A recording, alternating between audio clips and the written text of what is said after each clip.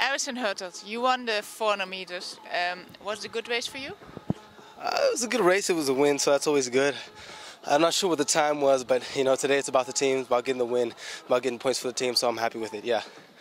Your team um, is a good team. Yeah, yeah, yeah. The Beagles won the British League, so you know we've got a good team all around. Showed it pretty well in the 400 hurdles, 100 meters, 400 now. I think we've got a strong team all around. We've got a shot to win it this year. How's your season? How has your season been going up till now? Still a little early for me. I, uh, it's my uh, only my third race, but uh, you know time, my time keeps dropping. So, and I'm competing well, winning that race, second in my last race. So it's all, you know, it's all. Uh, I'm getting there. Yeah. Are you uh, one of the members of the relay of the Great Britain?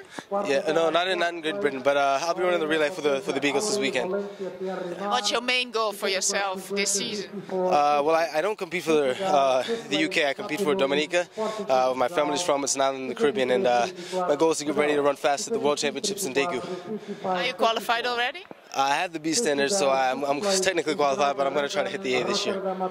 And, um, like this competition, how important is a competition like uh, if you are traveling with a team?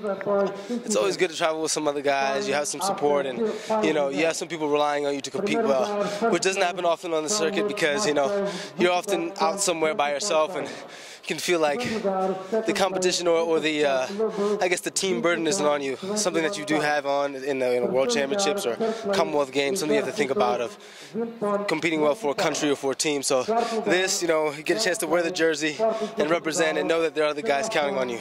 What do you have to improve? Like like now you're not oh, okay. in the top shape yet, I guess, no, yeah. for Daegu. Still, uh, World Championships are a little later this year, late in August, early September, so we have plenty of time and still working a lot on the strength. My speed isn't all there yet, but we're getting there, taking my time, and just trying to compete well every race I'm out there. Thank you very much. All right, thank you.